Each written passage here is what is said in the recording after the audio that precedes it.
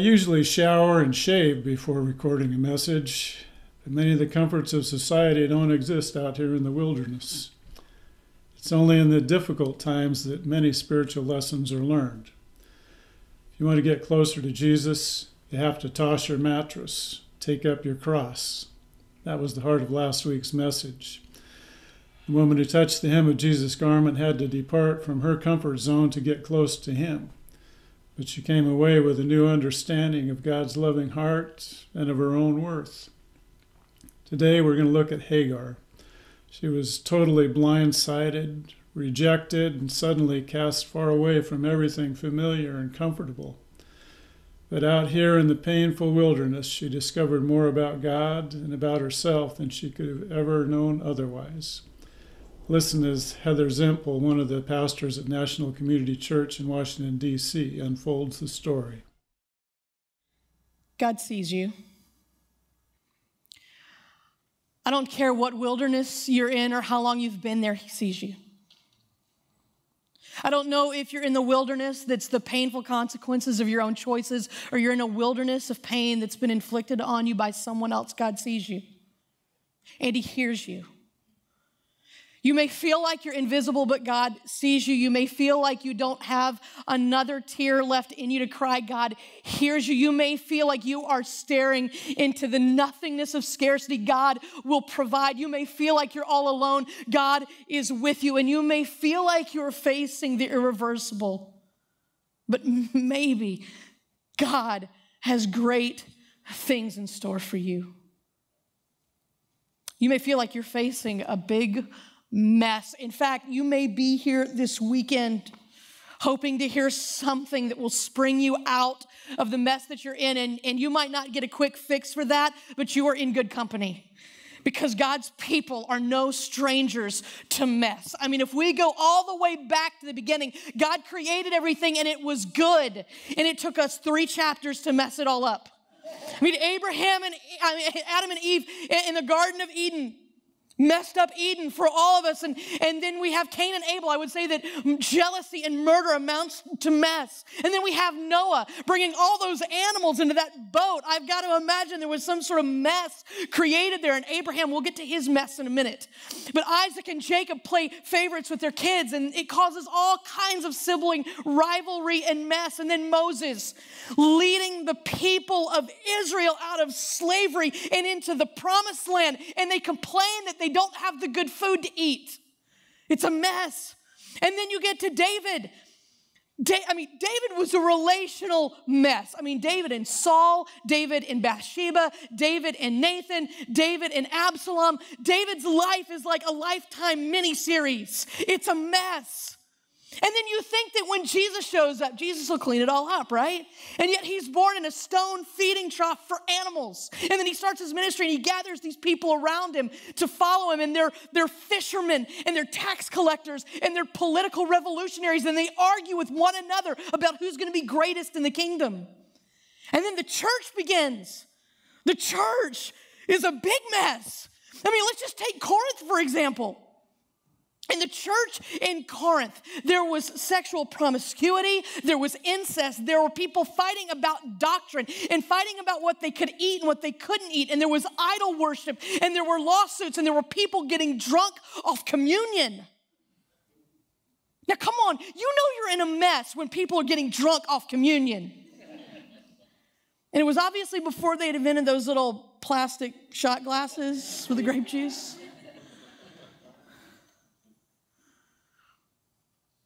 God's people are no strangers to mess. And yet, what we find in this whole story, what we see emerging, the thread that weaves in and out of these messes, is the fingerprint of God writing his story of hope and redemption against the backdrop and through people of mess. God shows up. I think a lot of times when we think about the Bible, we think about it as a, as a good collection of morality tales. Where there are heroes and villains, and where there are questions um, that, that are answered, where we get all the answers to life's big, big questions, what, you know? And, and yet, it seems to me, if I read this Bible honestly and thoroughly, that sometimes it raises more questions than it answers. Like why bad things happen to good people, or why good things happen to bad people, or why sometimes God swoops in to save, and other times he just sits back and watches.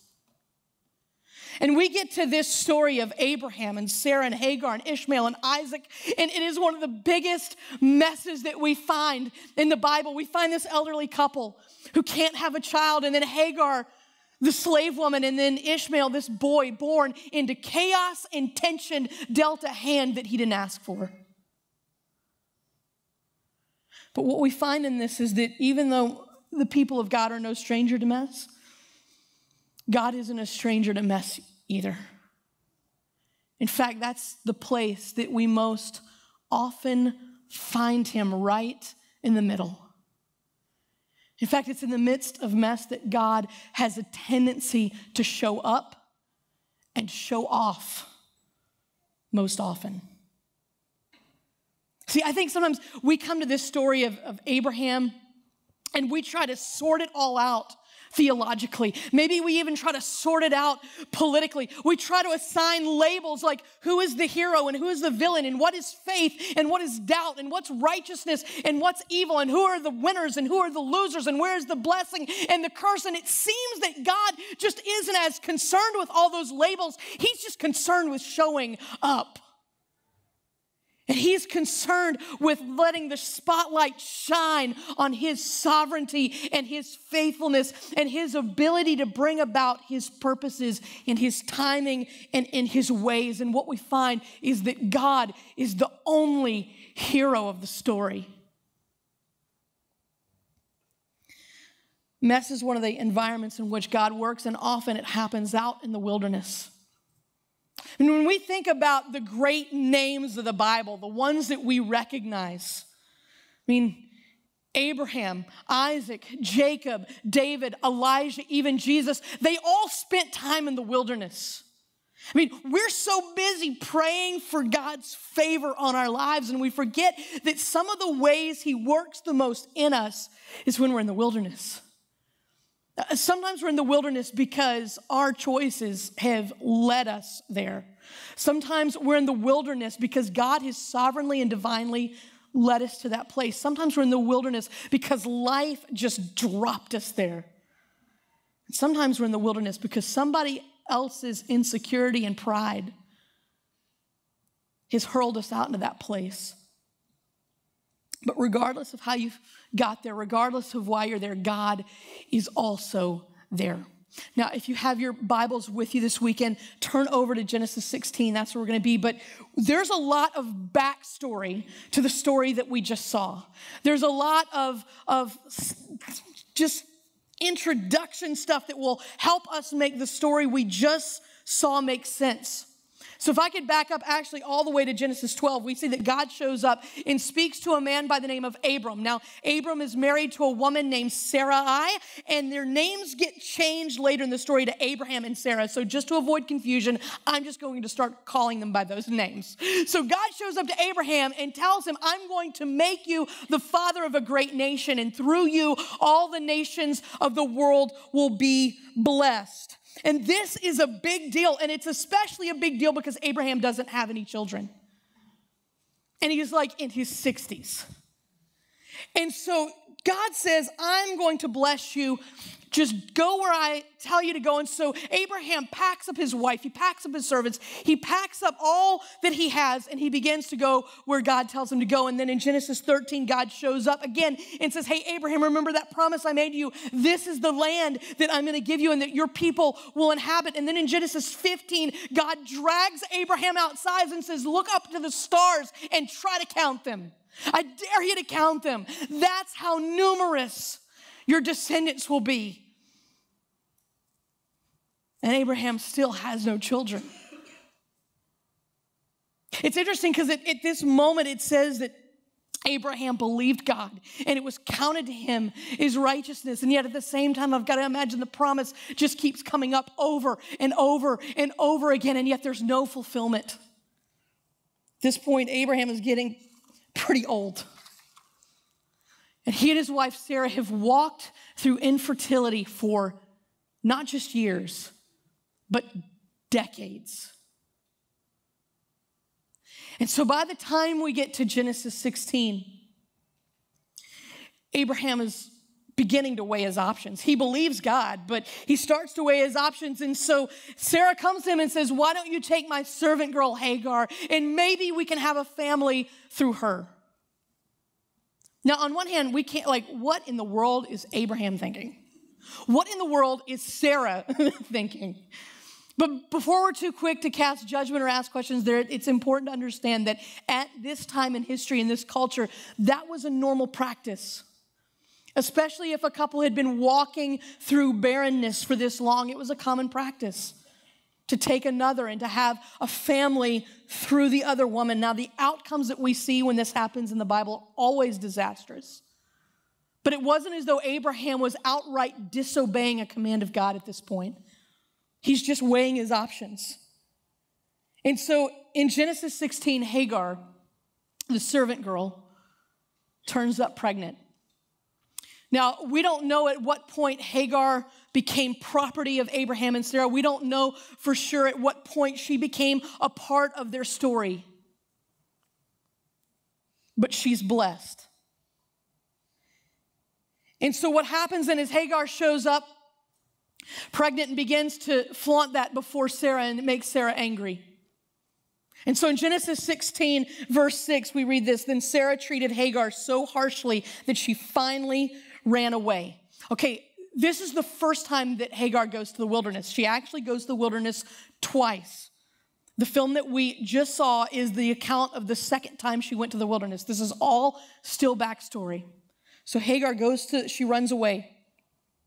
The angel of the Lord found Hagar beside a spring of water in the wilderness along the road to Shur. The angel said to her, Hagar, Sarah's servant, where have you come from and where are you going? Now, notice the text doesn't just say an angel showed up, but the angel of the Lord.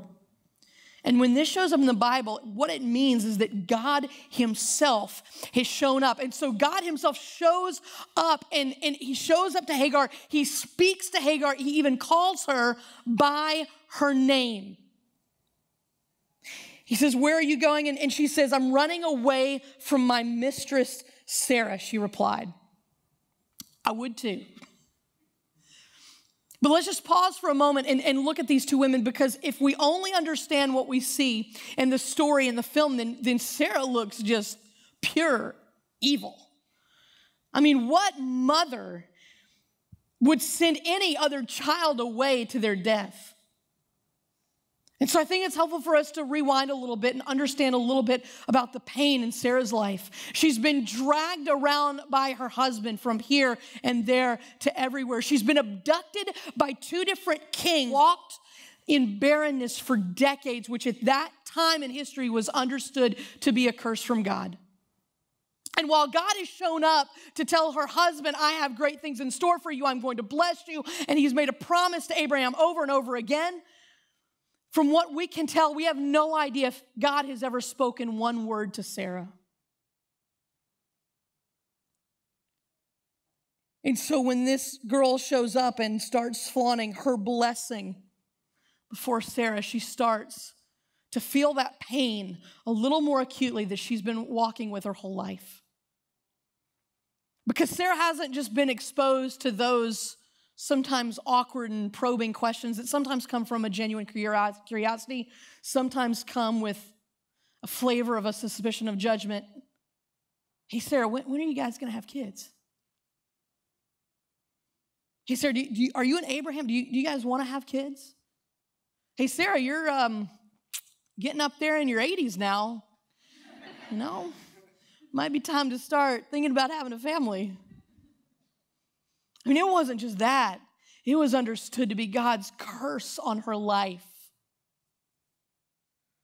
And so when Hagar shows up and kind of shoves Sarah's nose even deeper into the pain of what she cannot do, all of those years and years of pain just begin to flood out of her. And she begins to mistreat Hagar. And then you've got Hagar. She's a slave She's invisible except for what she can do for Abraham and Sarah. She's a pawn in their plan. According to the law at that time, um, she, she, could have had the baby, and then Sarah would have been in all in, in, in total rights to take that baby and then to sell Hagar off to someone else. What about Hagar's life? What about her dreams of a family? Is there any notice at all given, attention at all given to what Hagar wanted out of all of this? And then she finds herself mistreated because she was actually successful at doing what her mistress wanted her to do. And she's in the wilderness, pregnant. This is two women, both navigating their own wilderness of pain. And the reality is, I think there's a little bit of Sarah and there's a little bit of Hagar in all of us. And so she's she's running and God shows up and the angel of the Lord said to her, verse 9, return to your mistress and submit to her authority. Then he added, I will give you more descendants than you can count. And the angel also said, You are now pregnant and will give birth to a son. You are to name him Ishmael, which means God hears. For the Lord has heard your cry of distress. This son of yours, He'll be a wild man. As untamed as a wild donkey, he will raise his fist against everyone, and everyone will be against him. Yes, he will live in open hostility against all his relatives. Even we're seeing this, this is not getting, it's going to get messier before it gets prettier. Thereafter, Hagar used another name to refer to the Lord. She said, You are the God who sees me. She also said, have I truly seen the one who sees me? Hagar ran to the wilderness to hide, but God found her there. He's so good at doing that. I mean, Moses ran to the wilderness to hide in embarrassment, and God showed up in a burning bush. David ran to escape execution and God found him there and strengthened him there. Elijah ran to the wilderness, just completely worn out, and God spoke to him in a still small voice. Jesus went to the wilderness to pray, and God met him there. God finds us in the wilderness. See, I think sometimes we we go to the wilderness because we want to hide from everybody, even God, especially God. And then it's as though God shows up just like he did in the Garden of Eden with Adam and Eve, and he says, Where are you? Or like to Hagar, he says, Where are you going? And I don't think it's that God needs to know our latitudinal and longitudinal coordinates. He's wanting to let us know that He is looking for us, that He is the one who incessantly seeks and will find us, even in the far reaches of the wilderness. God sees you. And so Hagar returns she gave God a name. This is the only place in scripture where we see someone giving God a name. Usually God is revealing his name to people, but here Hagar gives God a name and she says, You're the God who sees. And then miraculously, she obeys God. Maybe this is the first free decision she has ever been able to make in her life, and she runs right back into the mess. And months later, Ishmael is born, and she names him God hears. Because it's not just that he sees you, he hears you. Abraham is now 86 years old. He loves Ishmael, and the Bible skips 13 years. Like when we go to the very next verse, it skips 13 years. And in this time, Ishmael has begun to talk and take steps and grow into a young man. And Abraham loves this only son. He listens to his first words. He watches his first steps and he loves this kid. And then God shows up again. 13 years later and says, Abraham, remember the promise I made to you. It's going to happen. And I'm going to bless Sarah and she's going to have a child. And Abraham is like, time out. Can Ishmael be the, the son of promise? And God says, I'm going to bless Ishmael, but the promise will come to Isaac.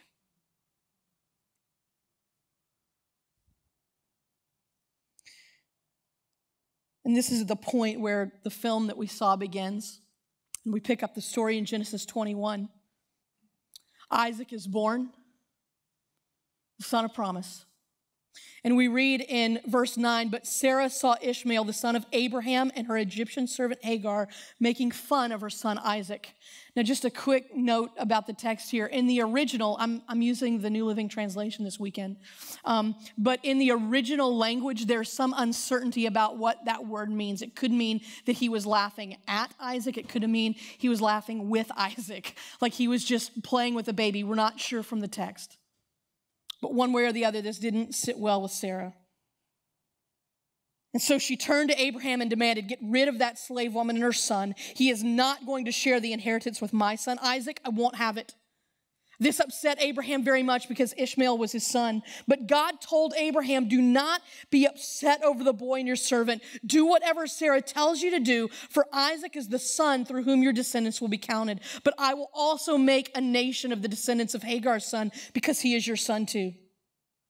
So Abraham got up early the next morning, prepared food and a container of water, and strapped them on Hagar's shoulders. Then he sent her away with their son and she wandered aimlessly in the wilderness of Beersheba. Hagar is the first single mom we see in the Bible. And she's wandering in the wilderness, away from everything she's ever known.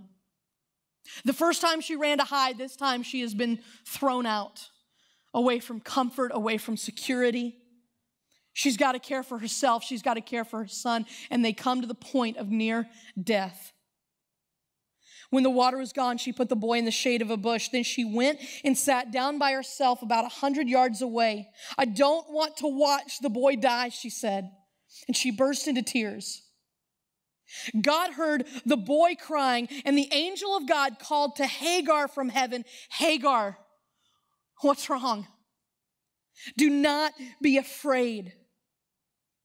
God has heard the boy crying as he lies there. Go to him and comfort him, for I will make a great nation from his descendants. Then God opened Hagar's eyes, and she saw a well full of water. She quickly filled her water container and gave the boy a drink. And God was with the boy as he grew up in the wilderness. I've got to wonder what this was like for Hagar. She's in this predicament because of Sarah's insecurity.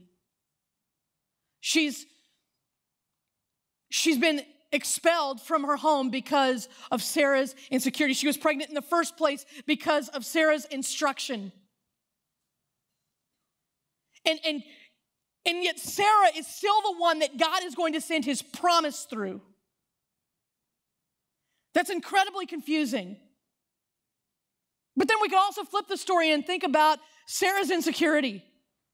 Sarah's been faithful to Abraham and walking with Abraham in obedience to a God that perhaps she's never even heard speak to her.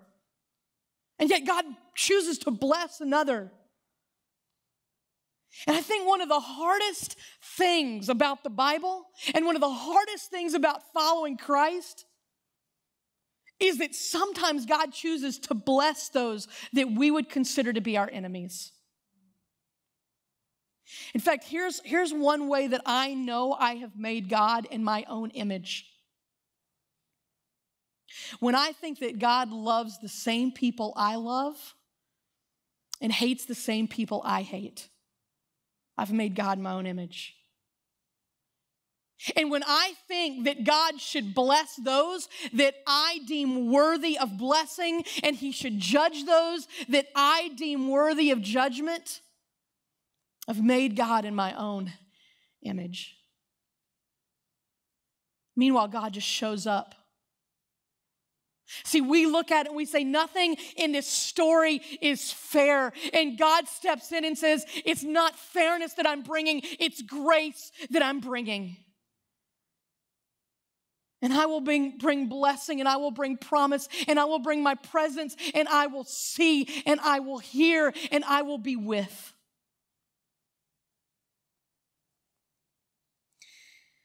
Hagar is visited by God a second time in the wilderness.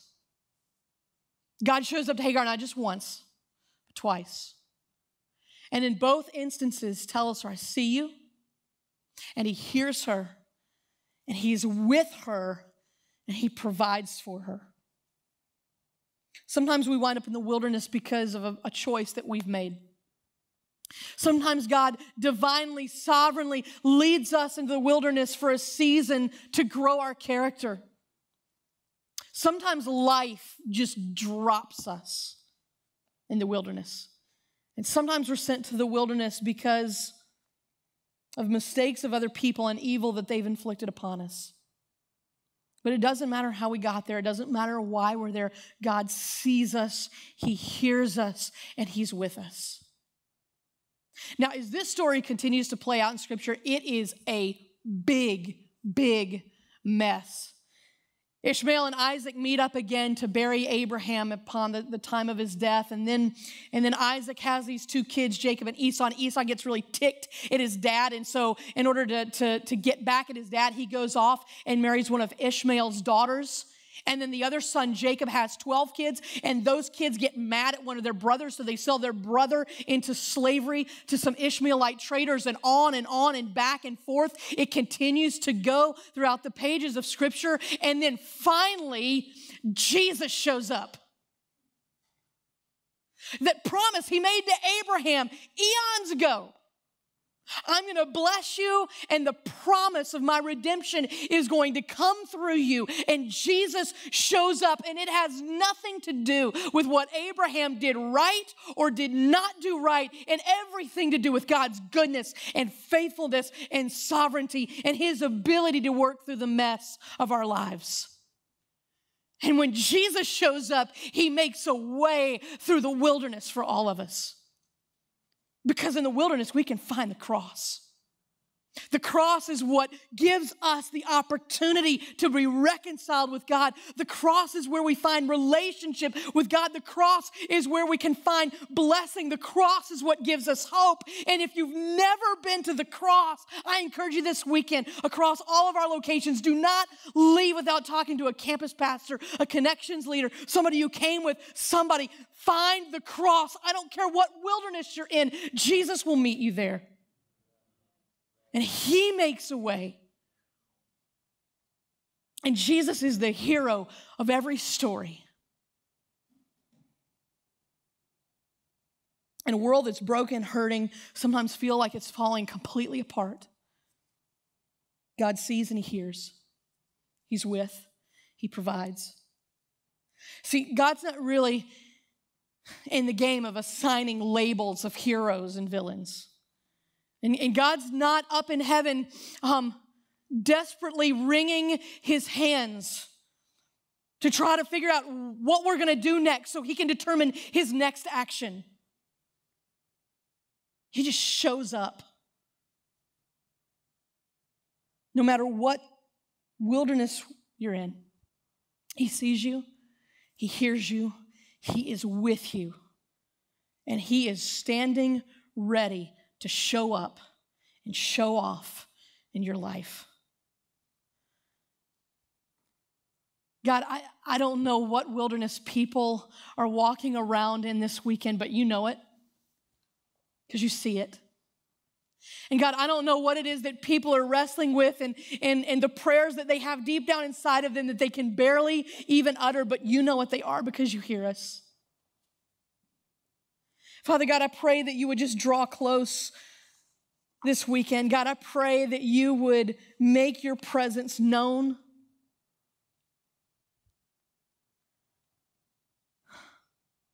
Father, I pray that you would make a way in the wilderness. God, I pray that you would make a way for us to be restored in Christ. God, we know you, you know the pain. You were tempted in the wilderness in every way that we were. We know that you know the pain. You went to the cross for us. God, we know that you see us, we know that you hear us. And I pray today that we would be able to see you and we would be able to hear you. And we would hear your message of hope and redemption cut through the no- noise of the mess of our lives. In Jesus' name, amen.